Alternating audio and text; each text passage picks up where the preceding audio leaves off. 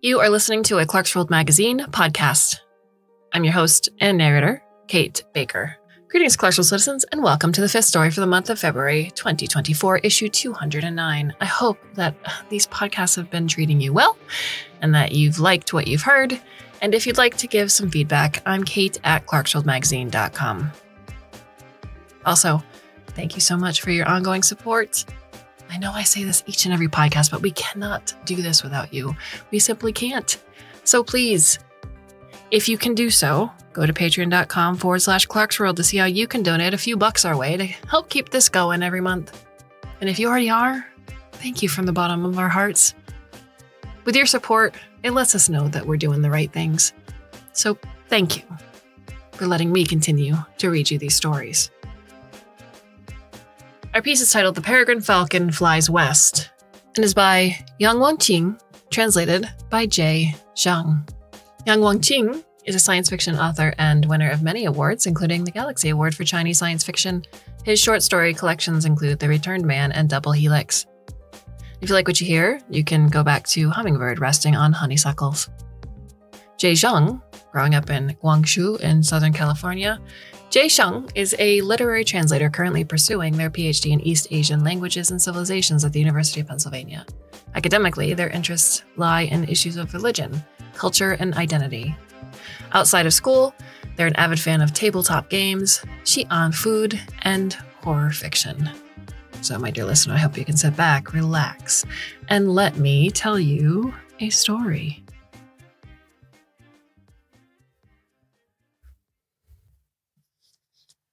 They ran and kept running, and soon enough their path took them into Xinjiang. It was a getaway with neither goal nor destination.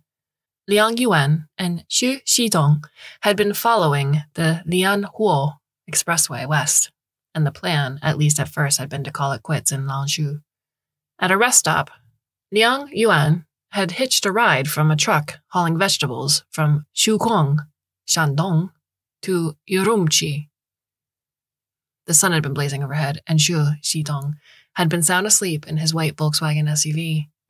The vegetable truck belonged to a middle aged couple in their 40s, approached by a younger girl in her 20s asking for a ride.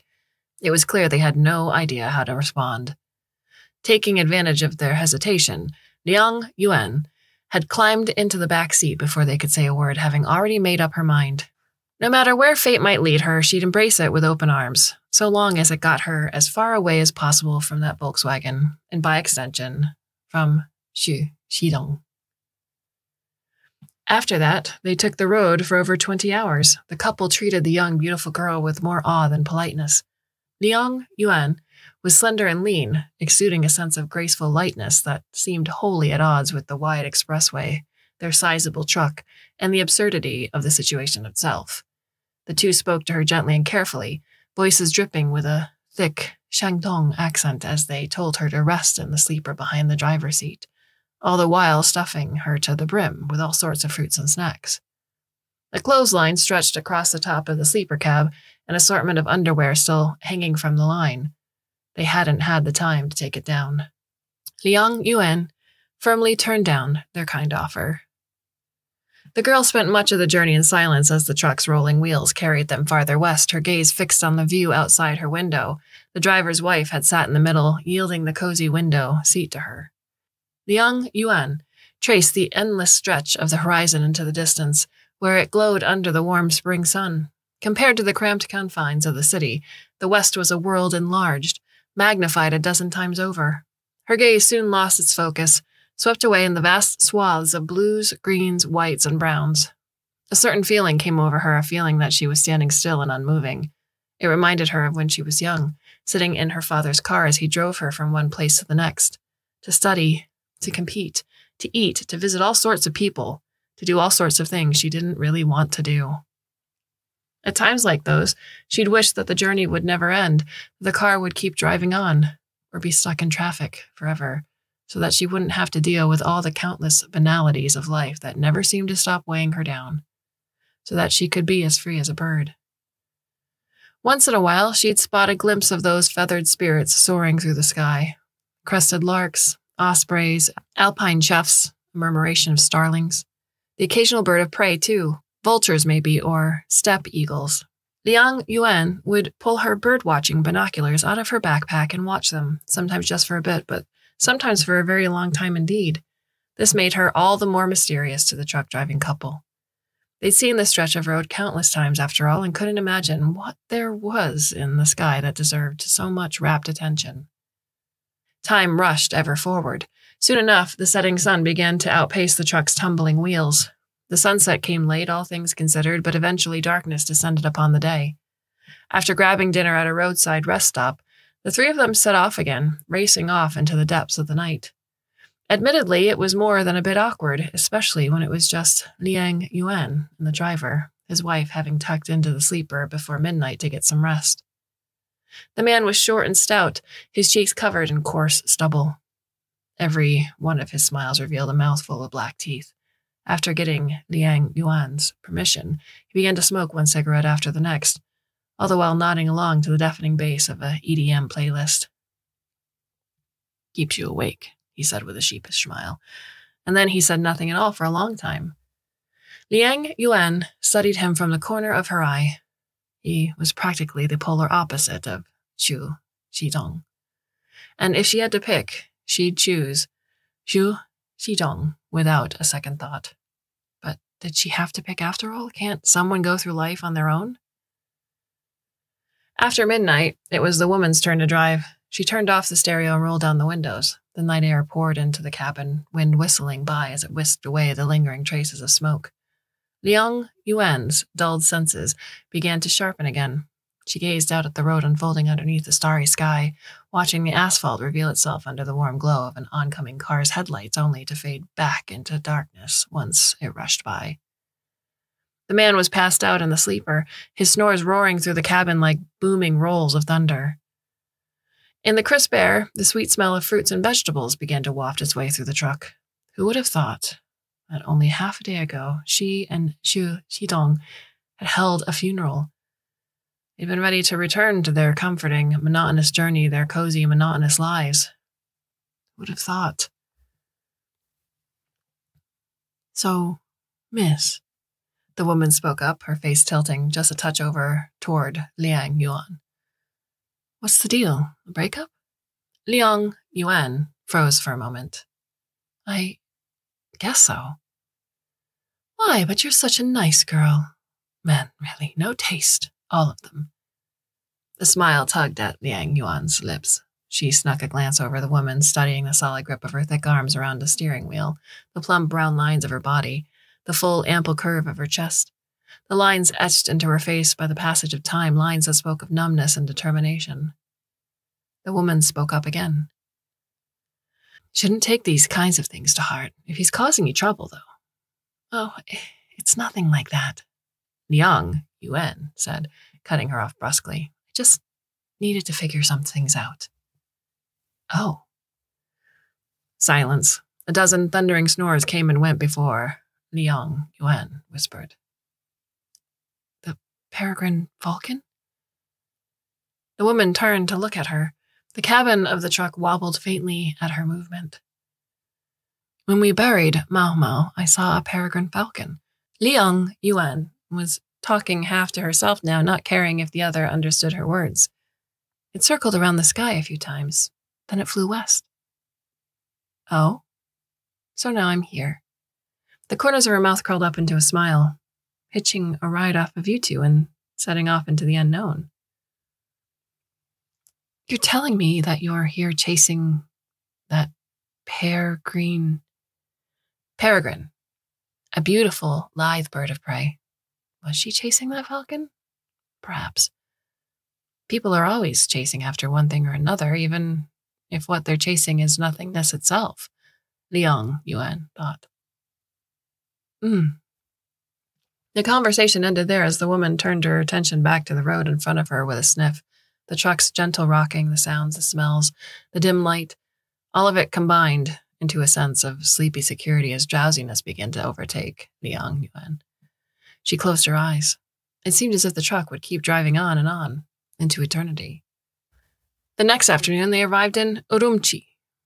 Upon parting, the woman told Liang Yuan that this had been the last long distance haul they would ever make The emission taxes were too high these days, and there was no more money to be made in trucking. She left her phone number with Liang Yuan, too, remarking, Fate drew us together for this journey, didn't it? Thicker than blood now, the three of us. Don't hesitate to reach out if you run into trouble, you hear? And if you find yourself in Shandong, don't forget to swing by. Off to the side, her husband took a silent drag of a cigarette, smacking his lips with a simple smile, as if his very ability to speak had been transferred wholly to his talkative wife. Liang Yuan accepted their kindness without question. Acceptance was always easier than rejection, after all. After they split up, Liang Yuan finally pulled out her phone. Dozens of message notifications had piled up, all of them from Zhu Xidong, over 2,000 kilometers away now and absolutely beside himself. She returned his missed calls, murmuring into her phone, I'm sorry, it's, it's all my fault. No, no. Don't come looking for me. I just I just need to be alone for a while. I need to think, to, to get away. Yeah, I'll take care of myself. You should too. Bye. She hung up and promptly blocked his number. She had already chosen to be selfish, to run off on her own, since she'd made her decision. There was no need to waste any more time on each other. Sometimes it took acting on impulse for people to come to terms with things, she thought. This time she'd come to terms with the fact that Zhu Xidong was a good man, but she just wasn't in love with him. With that, she decided to hang around the city for a while.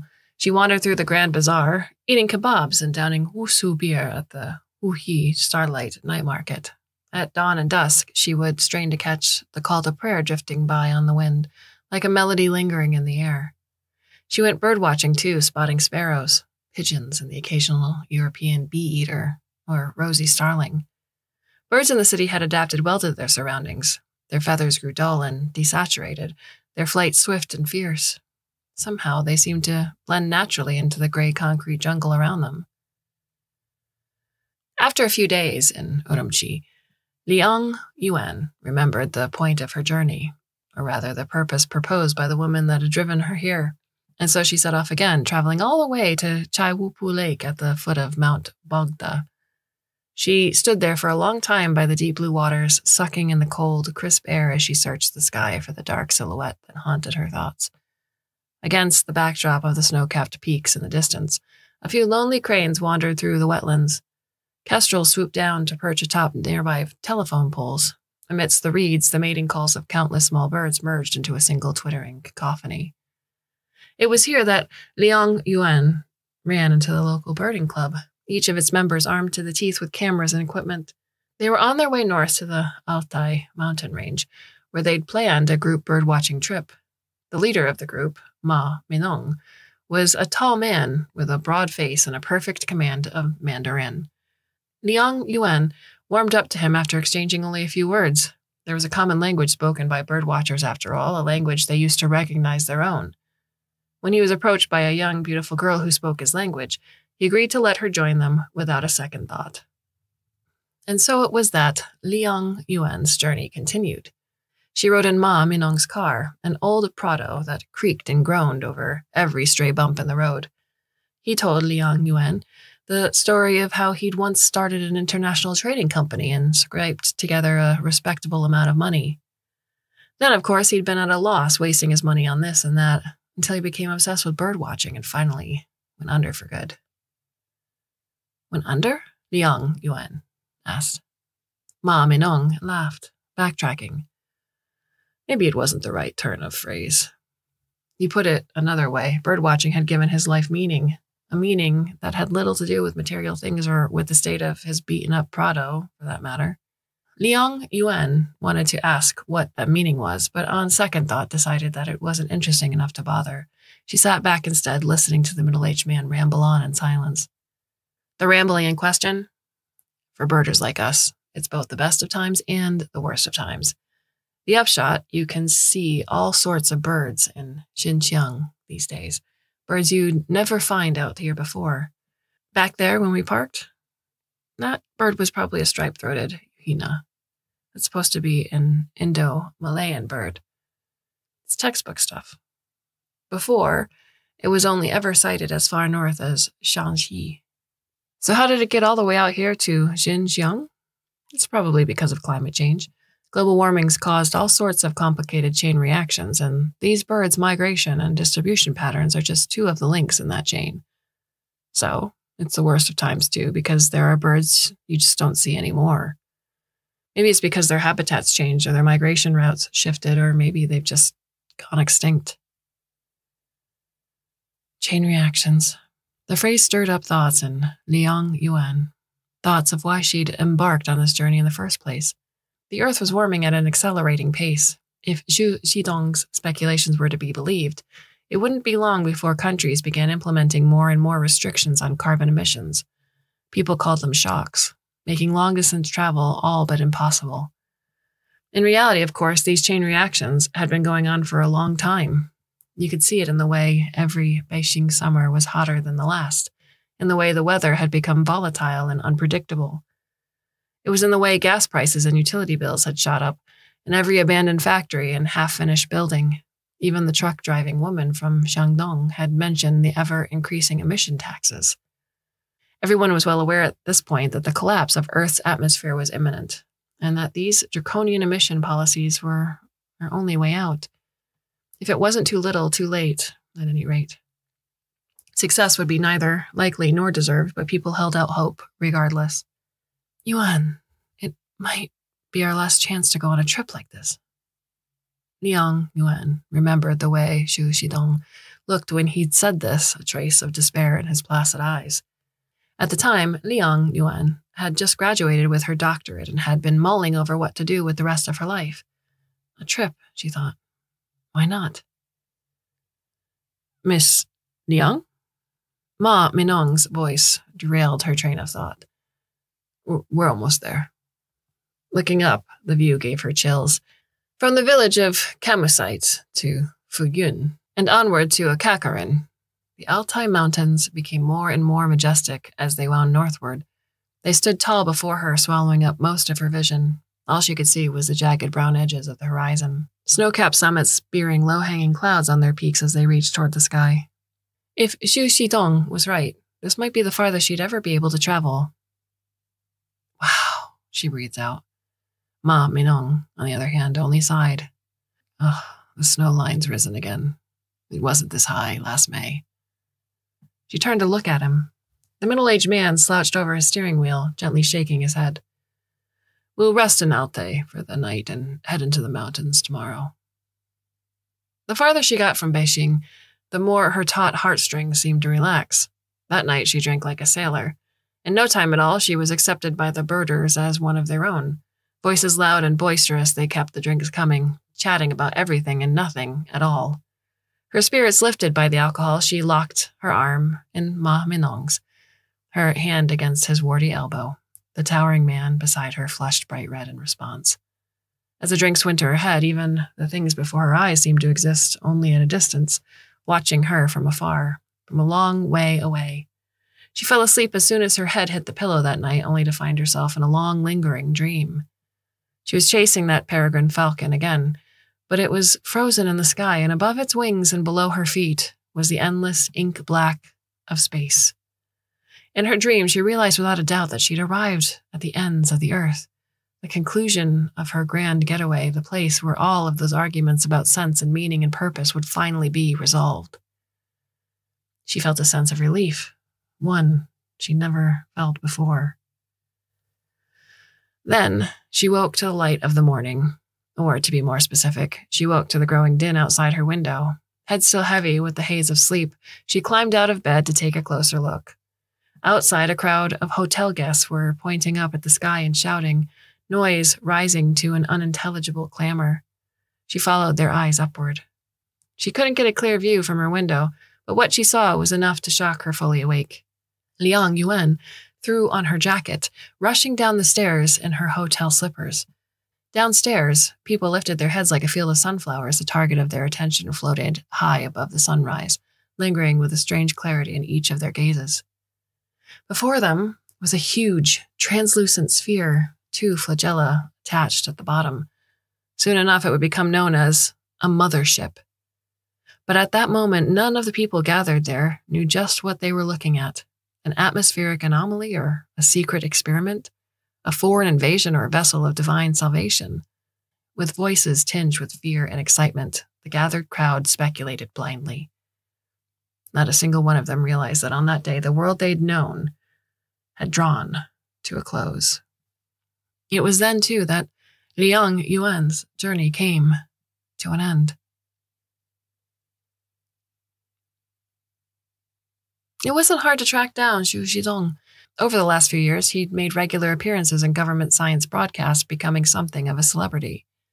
On the other side of the line, the celebrity hesitated before agreeing to Liang Yuan's request to meet. She set out at once, walking toward the cafe in Wangfujing he'd settled on. It was a Sunday afternoon in July, and the streets were packed with people. The Beijing summer heat was only a shadow of what it used to be, having eased tremendously after their arrival. But at the same time, she missed the clear blue skies of the past. Before the shock, when carbon emissions had been tightly controlled, there had been hardly any smog. The sunlight had come beating down sharp as a knife as it cut through sprawling swaths of blue, slicing into soft human bodies and the sizzling earth below. That morning, when Liang Yuan had woken in Altai to a crowd outside her window, a second mothership had appeared in the sky above Beijing, spewing out clouds of tiny floating particles. Soon enough, the sky was blanketed, filled with a smoke like haze. Perfectly spherical, Zhu Xidong had said in one of his videos, smiling at his audience. 34 microns in diameter and translucent with two flagella. We call them floaters, extraterrestrial swarmers, or stratosphere microbes. An unimaginable number of these particles float through our stratosphere, forming a giant sunshade. Our sun gifts a lot of energy to us, and floaters see to it that part of that energy is returned to the universe, causing global drops in temperatures. Unfortunately, the full band scattering of natural light appears to the human eye as an ash gray color, leading to the endless gray we see in the skies today. Well, that's all for this episode, folks. Thanks for watching, and we'll see you next time. Had it already been 10 years of ashen skies? Liang Yuan pushed open the cafe's glass door. 10 years. Will Zhu Xidong still recognize me, I wonder? Liang Yuan Zhu Xidong waved at her from a booth. Her lips twitched, quickening steps carrying her forward to take the seat across from him. Zhu Xidong's eyes were hidden behind dark lenses, deep wrinkles carved neatly on both sides of his nose and at the corners of his mouth.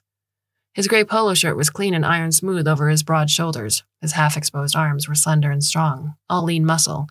Ever the photogenic one, Liang Yuan thought, carding her fingers through her hair. I had to look up photos to remember what you looked like. Zhu Xidong's voice was low, hoarse at the edges, not nearly as pleasant and chipper as it had been in the videos. Now that I see you, I don't know how I'd ever forgotten your face. The response was slow, hesitant. It's been 10 years. It's only natural that you'd forget. A decade already. Time flies. Zhu Xidong propped his elbows on the table, going quiet. He remained silent for a long time, gaze burning a hole in the side of Liang Yuan's face from behind his sunglasses. Don't ask, she pleaded silently. Please don't ask. How have you been? Liang Yuan let out a sigh. I've been okay. Okay. Alive, at least, without any complications, any serious illnesses. After the mothership descended, the bird-watching trip had naturally fizzled out. Ma Minong had brought her back to Urumqi. At that time, before they'd known anything about floaters, they'd grounded all civilian planes out of safety concerns, forcing her to take a 30 hour train back to Beijing. She slept through the whole thing, her legs shaky as she shambled off the train like a sleepwalker. After returning to Beijing, she found a job at an ornithology lab and had worked there ever since.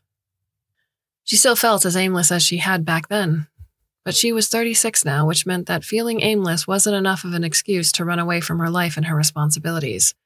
Sometimes she felt that life was nothing but a huge net, the warp and the weft of it woven from all the complex relationships that tied one person to the next. It anchored each one of them in place, binding them to one another so tightly that the sudden loss of any given person would ruin the whole net, all the knots coming apart. Ten years ago, she'd left without saying goodbye, She can imagine it, the threads of the net fraying and snapping, dropping Zhu Xidong harshly into the dirt. How it must have hurt him.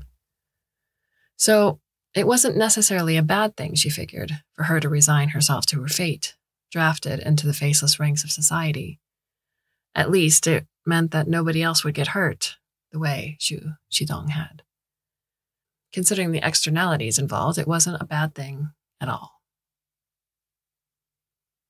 Come on, Zhu Xidong said, suddenly jerking backward. His body swayed back and forth a bit with the force of it. I thought you would have at least had some regrets, some trouble sleeping at night, at least. Do you know how I spent the last 10 years? Liang Yuan was lost for words, shock written across her face. Before she could muster up a reply or school her expression, Zhu Xidong interjected again. Don't worry, I'm just messing with you. I'm not blaming you for anything. Aliens are upon us, after all. In the face of that, what's a bit of puppy love worth? Am I right? She raised her cup, wrapping her lips around the warm, bitter coffee. Zhu Xidong stopped swaying and lowered his head, eyes peeking out at her over his sunglasses. Look, return the favor. Would you ask me how I'm doing? How have you been? I'm okay. You know, I've always been the kind of person who does things by the book matchmaking, dating, marriage, kids, school, districts, all of it, textbook. If I had to point to one thing that made me unique, I guess it'd be how my ex girlfriend flew off in the wind like a bird, and how my career came flying in the same way. He turned toward the window, the angular lines of his face softening in the pale light. You can laugh if you want, I don't mind. But after you left, I was out of it for days. I don't even know how I managed to drive back to Beijing. It wasn't sadness, not really, but I just couldn't understand. I guess it's fate. It's my destiny to get tangled up in things I can never understand, whether it's you or those things in the sky. Liang Yuan forced out a smile. Hmm. And here I thought you had the plumes all figured out. Plumes? Flo- floaters, I mean, she said sheepishly. That's just what I call them. Zhu Xidong turned back to her. She imagined what his eyes looked like behind those dark lenses, his gaze filling her thoughts. Plumes. Like feathers, huh? How poetic. It's the kind of thing only you come up with, no doubt about it. Maybe I should mention it in my next video. Uh, all right, all right. I'm calm down. I'm just kidding. They fell into silence again, both of them clasping their hands around their ceramic mugs. Her cup was almost dry, Liang Yuan noted. Here we are again, just like the old days, like a couple that's just had a fight, full of resentment and tricks up our sleeve and the awful desire to understand each other. The outer shell is composed of carbon based molecules with structures even more complex than those of fullerenes. They're light sensitive, switching between transparent and opaque modes according to changes in surrounding light levels. They rely on two flagella to move and maintain altitude, and they stop all activity soon after being captured.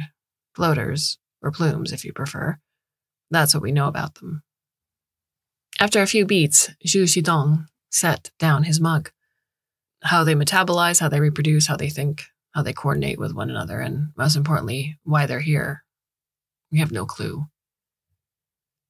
Aren't they here to save the human race? Isn't that what they all say? I'm not convinced. The corners of Zhu Xidong's mouth fell into a frown. I have to fake a smile for those videos I film, but not here. Not in front of you, Liang Yuan. When the floaters first arrived, it's true that they saved us from the impending climate crisis. But life's not a fairy tale. There's no neat ending to the story. We did calculations before the shock. A 4% global increase in low clouds would have been enough to counteract the greenhouse effect generated by our growing carbon emissions. A volcanic eruption might have done the same thing.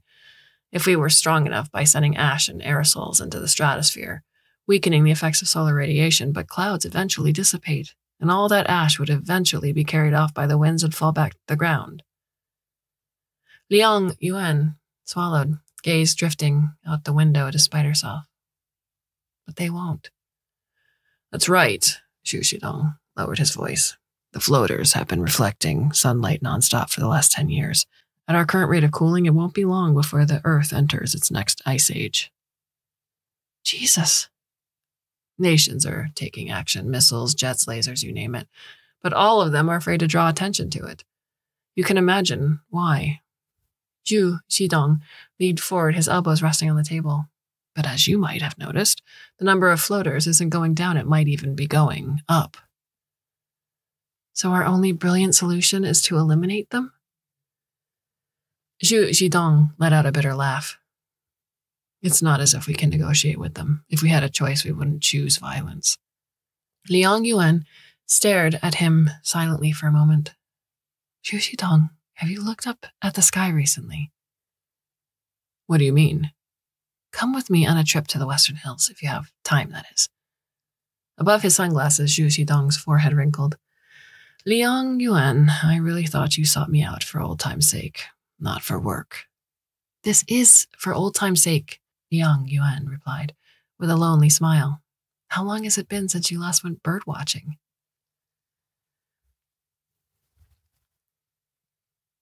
That day, thousands of motherships had appeared out of nowhere, materializing in the skies all over the world. They looked identical to floaters, only supersized, perfectly spherical, each more than a kilometer across, with two huge flagella on their hull's lower half. They released huge clouds of floaters into the atmosphere and then disappeared without a trace. It had all happened so quickly that there had been no time for anyone to react, much less enough time for humanity to tear itself apart deciding on a plan of action. It was hard to imagine that the floater's arrival wasn't the will of some higher power. During the day, they crowded together to form a thin film stretched out endlessly across the sky. At night, on the other hand, they formed an array of strange, irregular shapes, twisted and curled.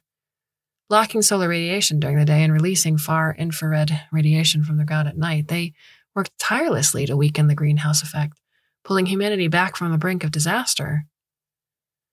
Scientists, of course, told a different story, one that implied no such greater plan. Out of the frying pan and into the fire, if they were to be believed, mankind was no farther from disaster than from before, though the disaster in question had changed for the colder. Naturally, the story was less popular with the masses. My best guess? Floaters are some kind of alien microorganisms that follow some basic instincts. They try to maximize the energy stored from sunlight during the day and minimize their energy losses at night. That hypothesis explains their behavior, at least, all without resorting to talk of higher powers or God's will. Zhu Xidong sat across from Liang Yuan in the cable car, scratching at his nose before continuing. It's also possible that they're miniature robots of some sort, optical logic gates of some sort that can move on their own and obey built in commands. Maybe they've been sent by an alien civilization to terraform our planet in preparation for their arrival. Maybe their mission is just to make Earth cooler without a thought to the other creatures on the planet it affected. More convincing than God, if you ask me, Liang Yuan commented. What to believe is one thing, figuring out what to do about it is another. Liang Yuan, you get the sense of how painful my dilemma is by now, I hope. My job is to assuage the people's fears with rational facts, but history has proven time and time again that being rational does little in the face of mass hysteria. A painful dilemma. Painful because your senses of responsibility and rationality don't align? Just like what happened 10 years ago? Liang Yuan wanted to ask, but the words died on her tongue. The cable car reached its stop, dropping them off just steps away from the observation deck. There were only a few scattered tourists about, it was a long way off from the peak season of autumn, when the mountains' forested slopes would be dyed in brilliant shades of orange and red. Zhu Xidong finally took off his sunglasses, blinking harshly as his eyes adjusted gleefully to the light. His dark brown eyes were just as bright and shining as Liang Yuan remembered them. I remember now, he said. When we first started dating, you used to drag me up here all the time to go bird watching. Over the past few years, I've come here by myself from time to time. More and more birds have returned to Beijing's skies lately. Hoopoes and starlings in the Temple of Heaven Park, mandarin ducks and mallards at Yuyuantan Lake, saker falcons and sparrowhawks on the autumn dyed reds of the western hills, hidden amidst the branches of smoke trees and maples. After the floaters arrived, birds had started to revert to their old ways. Only time would tell how long it'd last. Zhu Xidong raised his head, looking off into the distance. I think I see something. What is that, an eagle? Looking in the direction he pointed in, Liang Yuan shook her head. Eagles have a pretty stable flight pattern. This one's all over the place, practically floating in the wind. It's probably a, a black kite. A kite, huh? A kite, Yuan. Just like her first name.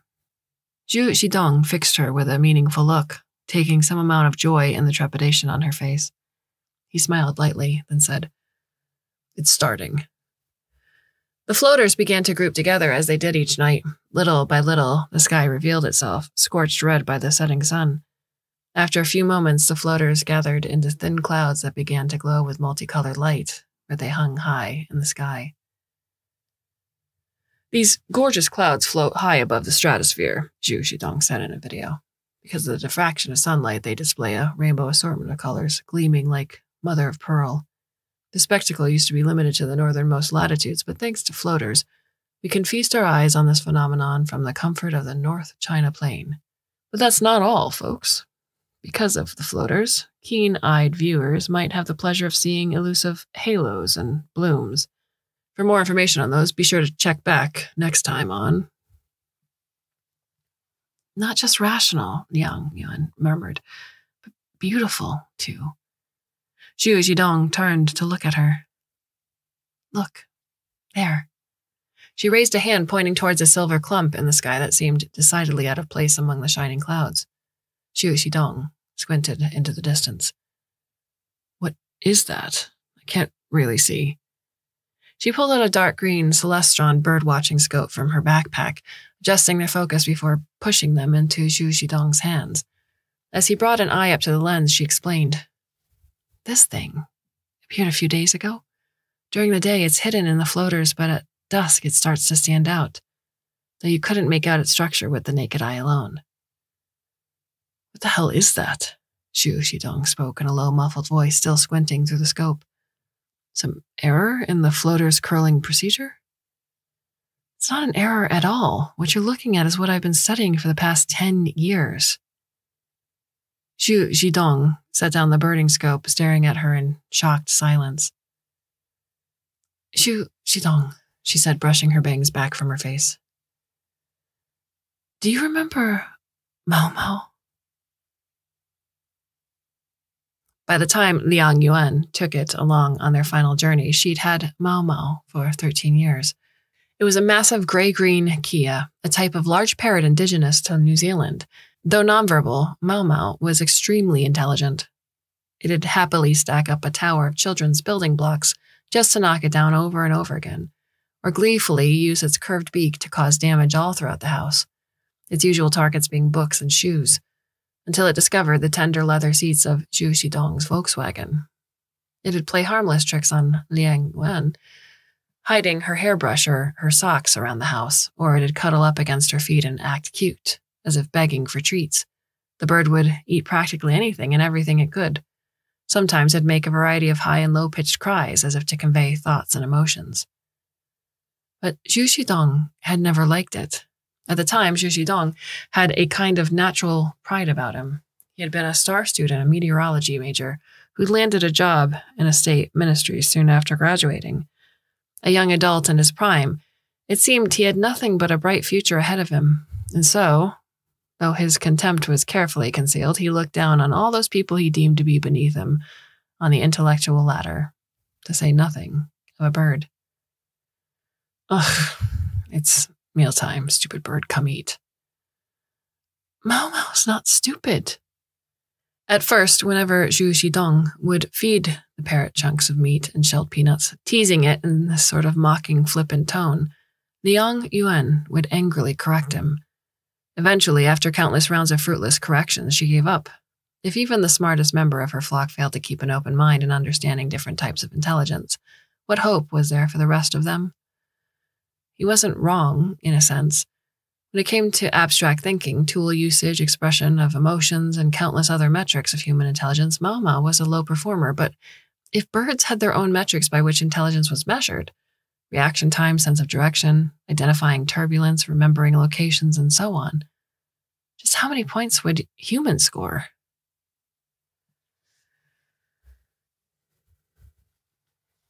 Ten years later, Zhu Xidong replied, Of course I remember, Mao Mao.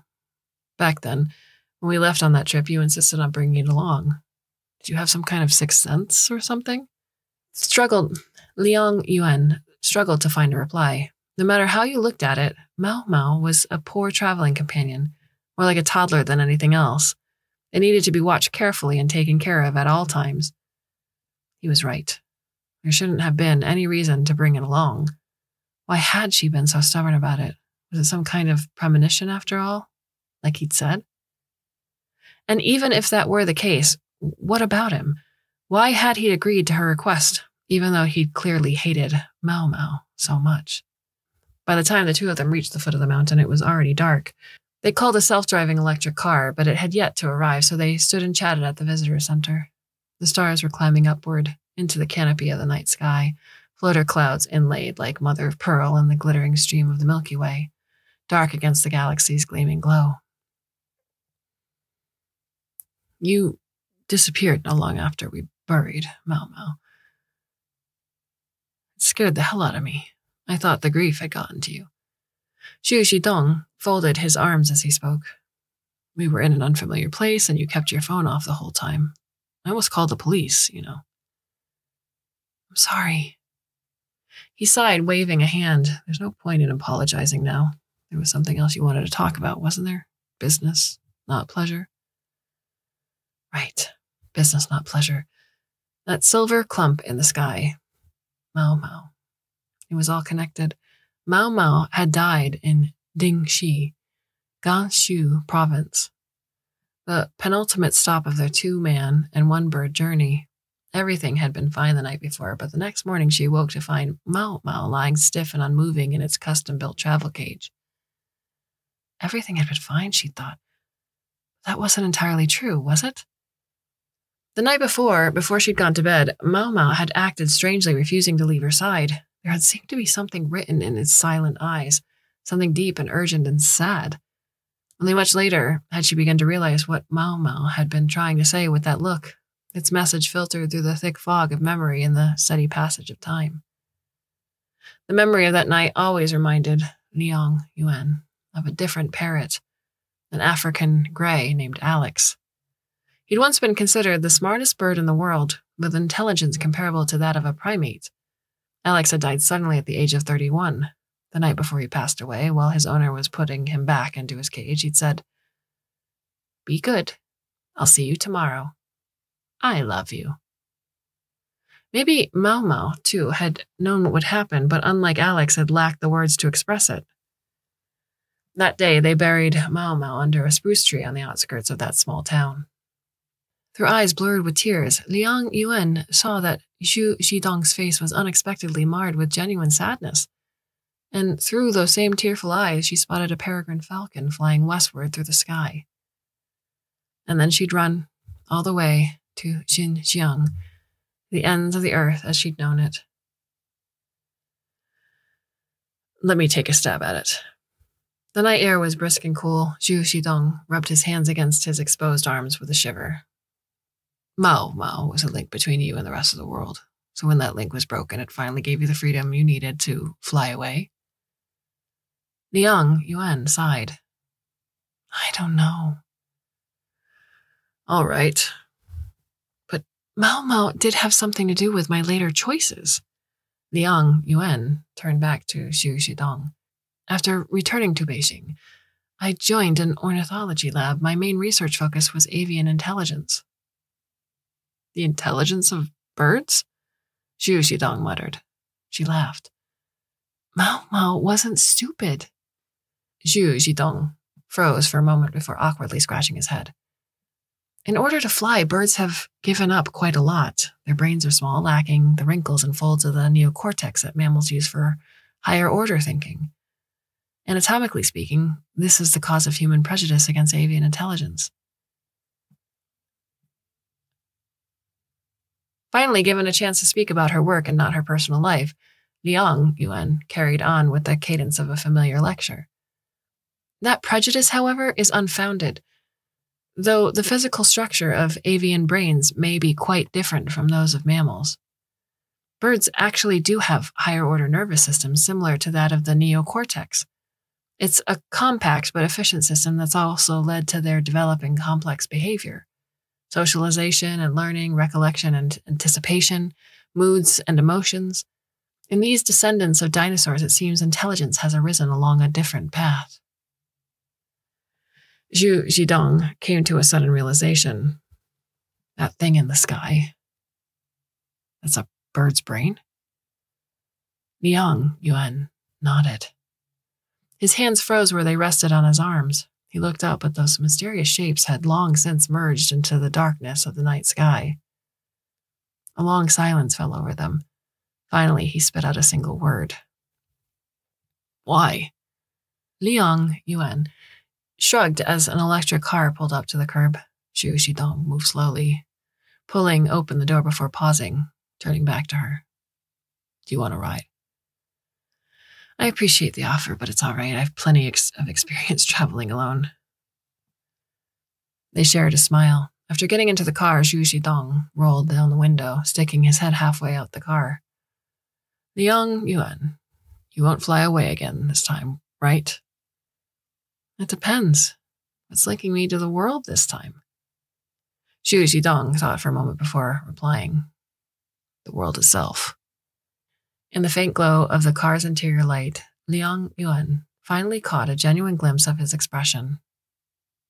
He was dead serious. In the skies over London, the skies over New Delhi, the greater Khingan Mountains, the Kalahari Desert, all across the globe, people saw the same miracle. Smooth, glistening surfaces, the basal nucleus, the optic lobes, the olfactory bulb, a giant avian brain emerging from the stratosphere. The 3D scans reconstructed from our drone and satellite data confirm Miss Liang Yuan's hypothesis, a voice said. You two have any thoughts? Liang Yuan tore her gaze away from the monitor to look at the speaker. It was Zhu Xidong's boss, a man in his early 50s known only as Director Li. He wore black framed glasses, his eyebrows thin and elegant. His hairline seemed to be thinning with the slight beginnings of a bald spot, and he spoke slowly and methodically, his voice tinged with traces of a southern accent. He stood before them now, bracing his hands on the conference table as he stared down Liang Yuan and Zhu Xidong. The floaters, they're imitating, Liang Yuan said. Imitating the brains of birds. How would they know to do that? Well, if I had to guess, Maybe they used a bird as a reference, one that flies close to the stratosphere like a Rüppell's vulture. Let me get this straight, Director Li said, rolling his eyes. His voice was low and flat, as if what he were about to say was unforgivably ridiculous. You think they analyzed a bird, and then collectively decided to imitate its brain like a bunch of synchronized swimmers? That's right, Liang Yuan replied. Why?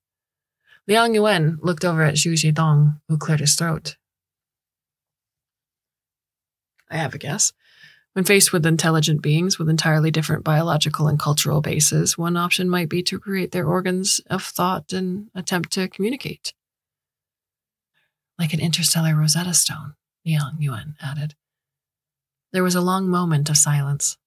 You mean to tell me, Director Li said with an incredulous look on his face, that an alien civilization turned a blind eye to us in favor of communicating with birds?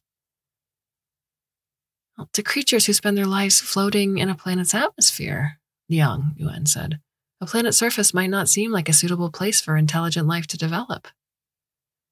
Director Li sat down, chair creaking as he leaned back heavily. His expression was sullen. A rather narrow minded view. Liang Yuan glanced at Zhu Xidong, who seemed to be deep in thought. How are we any different? That's not a bad thing, though, Zhu Xidong said. At least it shows they're willing to communicate. And how are we supposed to communicate? Director Li's glasses glinted coldly in the light. Fly up there and start chirping at them? If not for the sight of Zhu Xidong's neck flushed blotchy red with embarrassment, Liang Yuan would have burst out laughing. People in high places always like to wield their power with impunity, taking every chance to be harsh and unkind. In this sense, they weren't too different from children, except, of course, with a heavier set of responsibilities to carry. It was harsh, she thought, but he wasn't entirely wrong. After those massive brains appeared in the sky, incontrovertible proof of alien existence, countless people the world over had made attempts at communication. They'd beamed modulated radio waves into the sky, or shouted forth with all their might.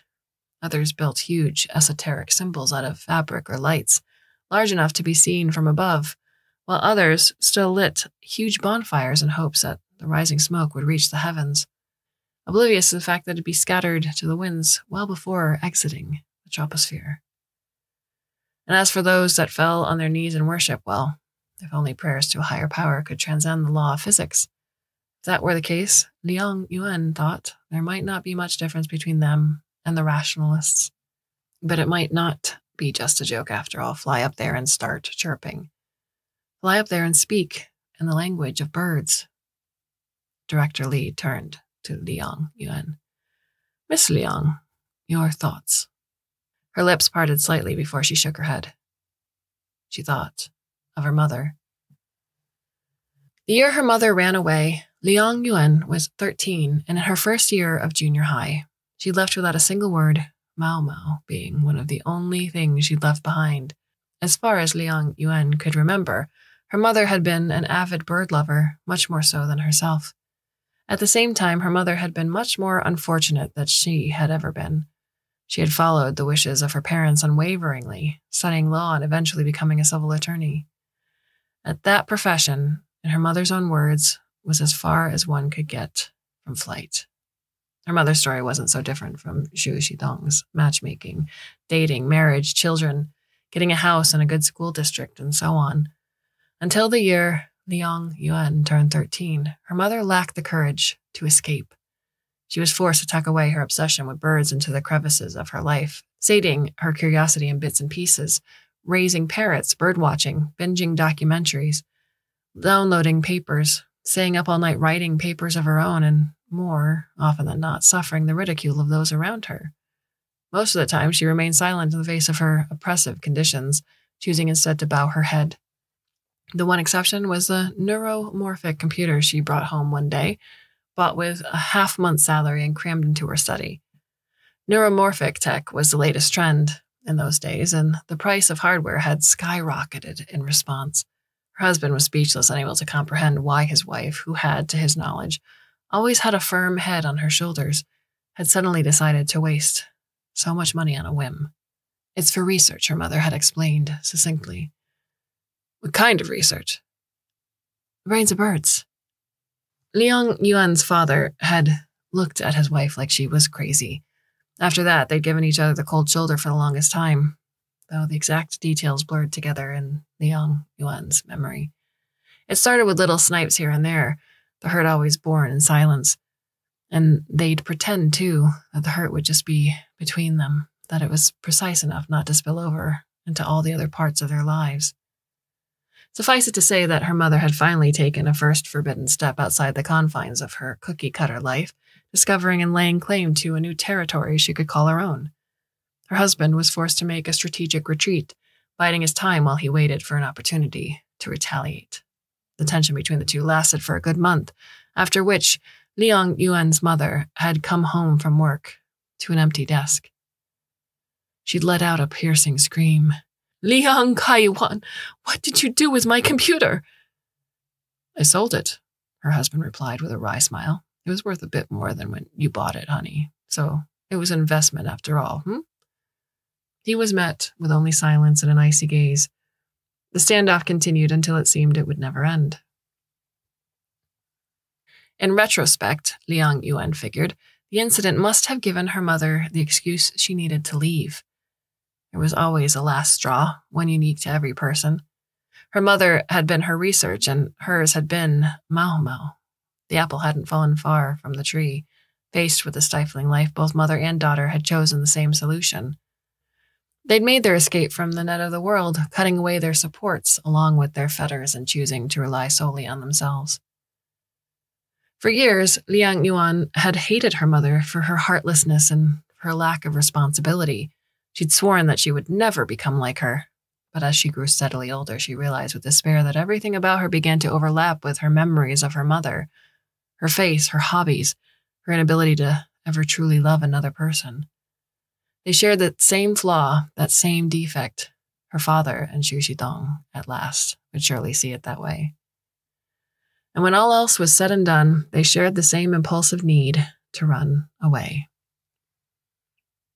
So many years had passed since then, and much of her memories had long since been consigned to oblivion.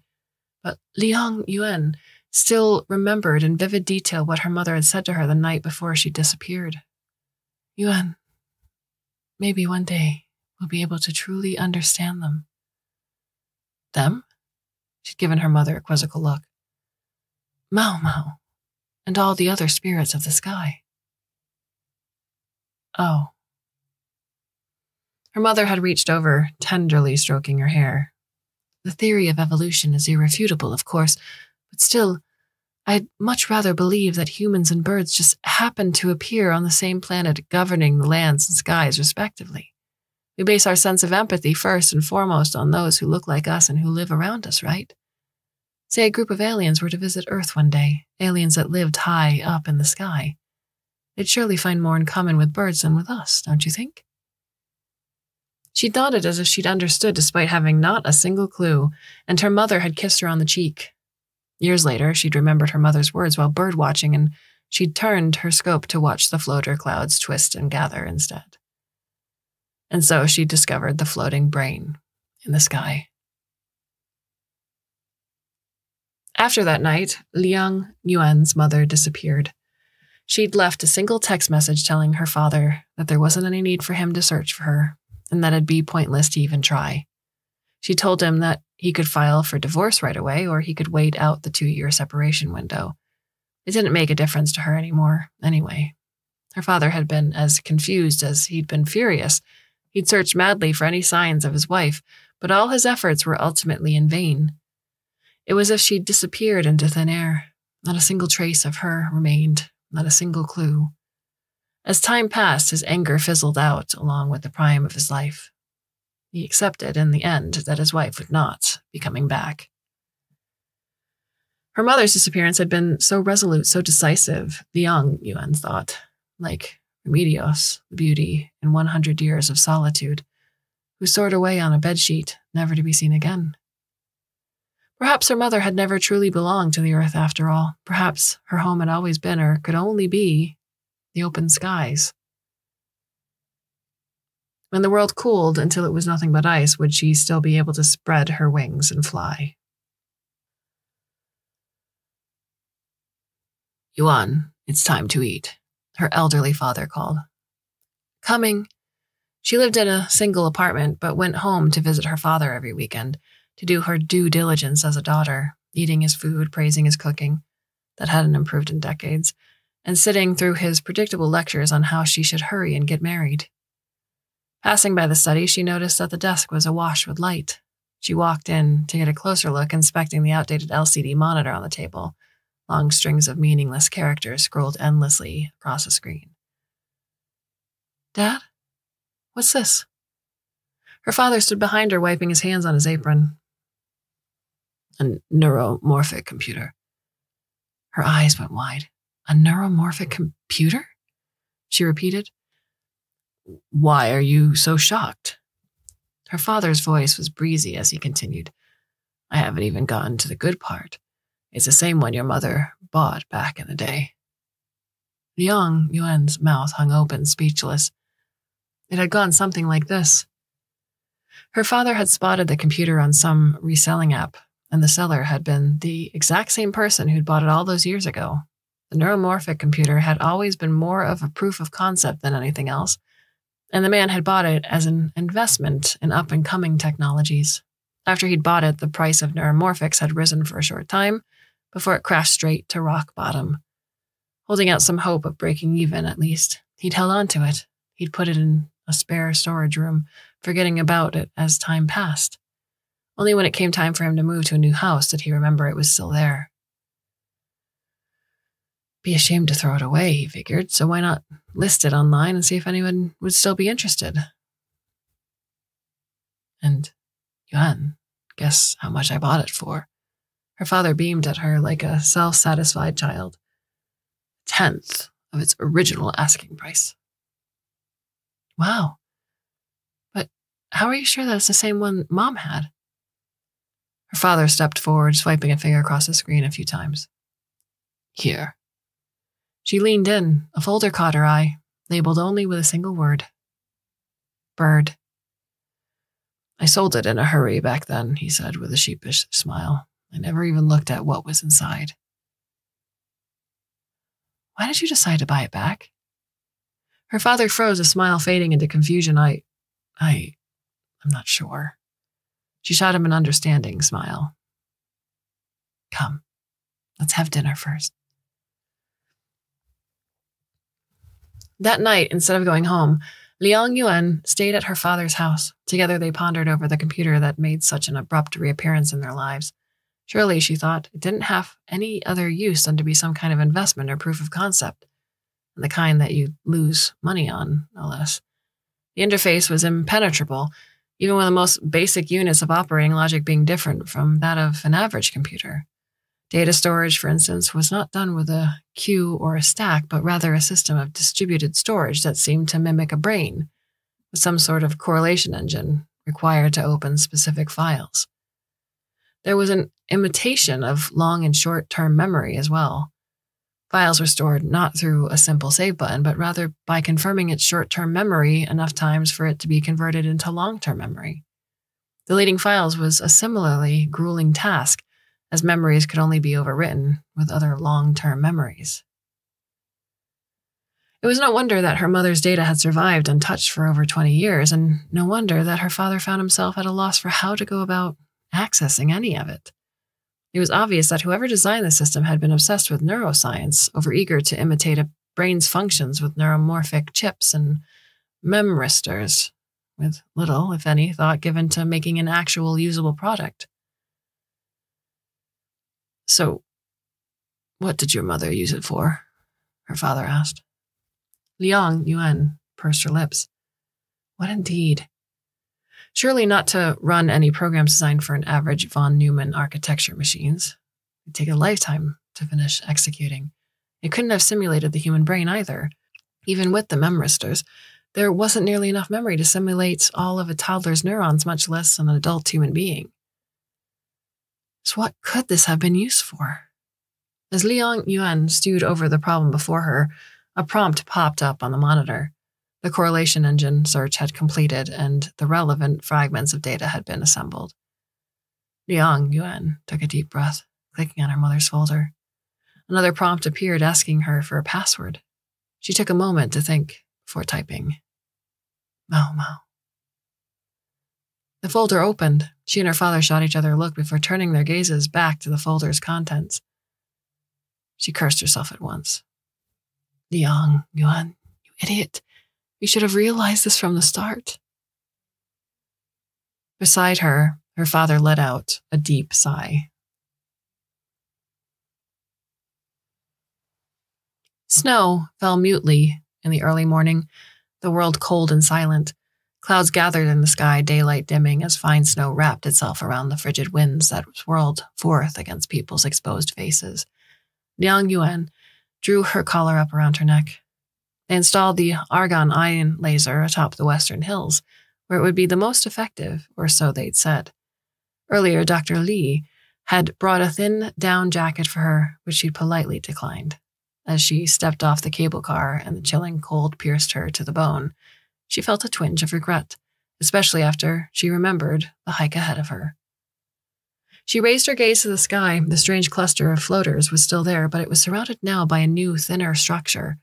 Anyone could tell at a glance now that the floaters had begun taking the shape of a bird, still and unmoving where it had hovered in the air. So, they started with the brain before moving on to the body, she thought. It reminded her eerily of her mother's musings, is this a falcon I've been chasing day and night, dreaming and in waking? Will it spread its wings one day and fly like a real bird? Liang Yuan. In the distance, a dark silhouette waved at her. Zhu Xidong.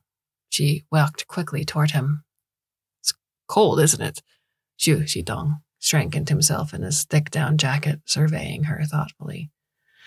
Mm, Beijing in December has never been this cold, at least not as far as I can remember. It it'll get colder, Zhu Xidong assured her darkly. Does he already have a plan in mind? She glanced at him out of the corner of her eye, or has he caved under the pressure, already giving up on his responsibilities? What's wrong? Zhu Xidong asked. Nothing. They started their uphill hike. Gravel crunched underfoot. It wasn't long before she started to wheeze for breath. Zhu Xidong stopped every now and then, waiting for her to catch up. His expression was relaxed, gentle. I never imagined that a decade later, he said with a smile, I'd find myself on a hike with you again. If it wasn't, she said between weary breaths, the fate of the world on the line, oh, this is the last place I'd be. Fair enough. Zhu Xidong pursed his lips. And maybe after we save the world, I won't have the chance to ask. Liang Yuan stepped slow to a stop and she looked up. Huh? That day. Why'd you leave? So he finally asked, huh? She sighed. She'd asked herself the same question a million times, and still the answers eluded her. The day Mao Mao died, Liang Yuan saw that her grief had become Zhu Xidong's grief. Maybe it was then she realized that an empathy that deep was a heavy burden to carry, a responsibility that had only weighed her down. And in that moment, like her mother, she'd wanted to become a bird, flying freely away. The word love for her was a thin one, thinner even than the cold mountaintop air. But could she say that to Zhu Xidong? She shook her head. I don't know. All right. She couldn't detect any disappointment in his voice. Maybe he didn't really want an answer, after all. After hiking in silence for a bit, Zhu Xidong spoke again. Let's talk business then. The Argon's laser imaging has been pretty good. By analyzing the reflected pulses, we've been able to see not only the internal structure of that brain, but also the optical activity within. We should have expected this from the start, really. They're imitating the bird's brain, so it's only natural that they've gone as far to imitate what bird brains do as well. They've just swapped neurons for floaters and neurotransmitters for photons, it seems. A brilliant deduction, as expected from the famous Zhu Xidong. Liang Yuan tried to lighten the atmosphere. Zhu Xidong's businesslike tone remained unchanged. However, to figure out the significance of that brain's activity, we'll still need your model. The model was my mother's. Without you, it may as well be the nervous system of a nematode. He had a point. The neural mode designed by Liang Yuan's mother had been nothing but a rough framework through its driving principle, though its driving principle had been clear enough to reproduce an avian brain using as few memristors as possible. She'd brought the model back to her laboratory and developed upon that framework with her colleagues. It had taken them months of work. They'd finished debugging the 1.0 version only a few days prior, after which they'd handed it over to Zhu Xidong's team. That team had worked day and night to make the model compatible with their hardware, finally inviting her up to the mountain to observe their first trial run.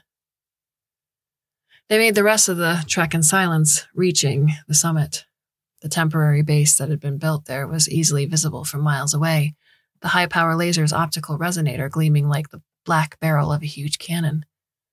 Mounted on the rounded vault of the research base, that cannon was pointed directly at the huge frozen bird in the sky. Director Li greeted them there, leading Liang Yuan in. He'd been waiting for quite some time. Inside, the rooms were somewhat cramped, with prefab walls and concrete floors. They were filled to the brim with computers of all shapes and sizes, running at full capacity, which had the unexpected bonus of keeping the rooms warm. Then Liang Yuan spotted the model.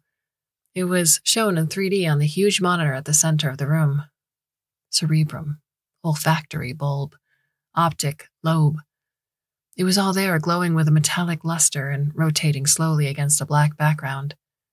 This was the result of the research she'd revived the research her mother had poured years into, a neuromorphic model of an avian brain. Memristors formed its hardware's basis, programmed simply to perform specific operations, and exchange information at specified points like a basic cellular automata. Miss Liang, before we begin, humor this old man one more time, Director Li said, lowly by her side. He reminded her of a child, one who'd made a grand wish and worried after the fact that it might not come true. This program is only a few hundred megabytes. Can it really mimic a bird's brain? The brains of birds are much more compact than those of mammals, she reassured. The tens of millions of memristors we have here can roughly approximate most of the functions of an avian brain. And for our current purposes, it should be more than enough. Director Li met her gaze before nodding solemnly. Let's begin then. Initializing. Importing vector space parameters. Importing external environment data. Rendering graphics. Laser beams swept back and forth, importing optical data from the brain and the sky and feeding it directly into the model. The light of the monitors washed over the observers' faces, flashing as each succession of neurons fired in turn. The otherworldly sight seemed to carry with it an indescribable sense of awe and horror that mesmerized everyone in the room. This was only the first step, Liang Yuan thought. Soon enough, they would be able to use lasers as carrier waves, modulating them to communicate any messages they liked. But first, they had to understand the messages being sent to them. What lit up just now was the optic lobe. It's trying to see. Uh, the, the bird's vocal center just lit up. It's roughly equivalent to Broca's area in humans. Liang Yuan explained. Some people think of birdsong as analogous to human speech. In other words, it seems like it's trying to speak. Zhu Xidong and Director Li turned to look at her in unison, their expressions difficult to decipher. Liang Yuan knew that what she had just said would soon be confirmed. The activity observed by the laser would be decoded and transformed into a series of green waveforms, which would then be translated through the speakers, vibrating through the air and cutting through the hushed silence of the early morning. What they were about to hear, perhaps, would be the first cry of the new world. By the way, Zhu Xidong spoke up from just behind her. Liang Yuan wasn't sure when he'd gotten there. After this, do you have any plans? She turned back toward him. A cup of hot coffee would be nice. His stiff smile finally softened. After you finish saving the world, you might want to start thinking a little further into the future. She mulled it over. Oh, travel. That highway, the truck, its blaring EDM. Gradually, they surfaced from the depths of her memory. She still had that phone number saved, Liang Yuan realized. This time she'd go west to east, she swore, from Xinjiang all the way to the shores of the Yellow Sea. It was a promise.